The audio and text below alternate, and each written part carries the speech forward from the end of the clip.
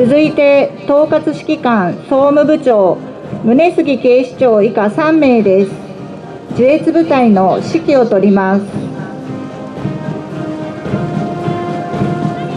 次は警察音楽隊カラーガードです。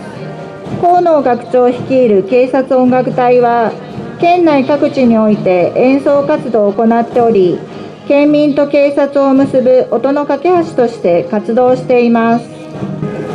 次は佐々木隊長率いる警察学校隊です。昨年4月に入校した初任科第252期と昨年10月に入校した初任科第253期第254期の学生で編成しております。次は田口隊長率いる中国四国管区機動隊です。中国四国管区機動隊は管区警察局を単位に部隊編成するものであり、県境を越えて出動する広域的な警備部隊として、次は海老原隊長率いる機動隊です。機動隊は厳しい訓練により鍛え上げられた精鋭が揃い、テロ対策や災害救助などさまざまな緊急事態に対応する部隊です。次は菅隊長率いる広域緊急援助隊です。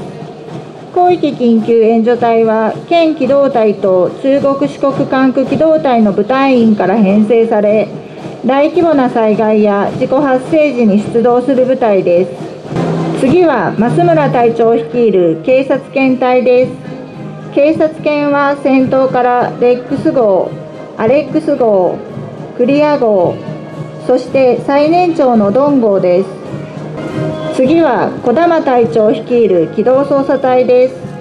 機動捜査隊は豊富な捜査経験を有する隊員で編成され捜査用車で県内全域をパトロールし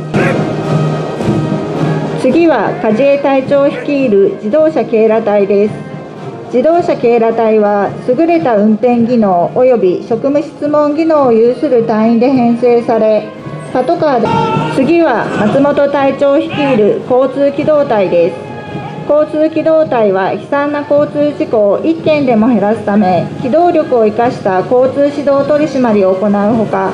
白バイにより駅伝競技大会などの先導も行っています。次は村上隊長率いる高速道路交通警察隊です。高速道路交通警察隊は高速道路上の安全と交通の円滑を図るため交通違反取締りや事故現場の対応に当たっています。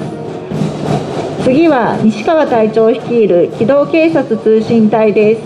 機動警察通信隊は事件や災害現場へ速やかに出動して現場の映像を警察本部や警察署へリアルタイムに伝送するなど最後の部隊は石丸隊長率いる特化車両隊です。車両は順に部隊指揮や現場での広報を行う現場指揮官車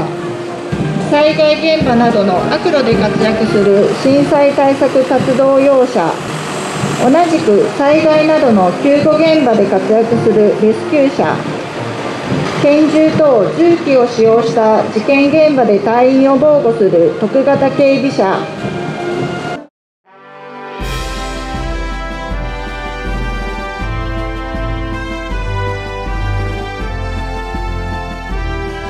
大麻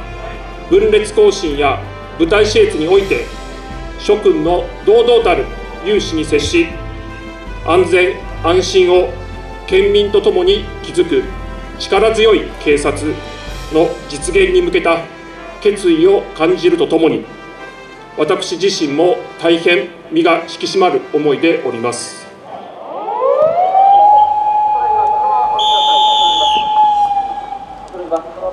い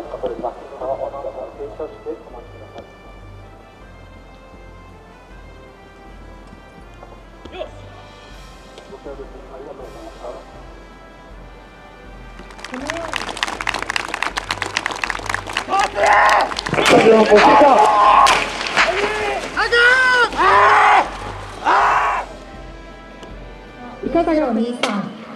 それではご覧ください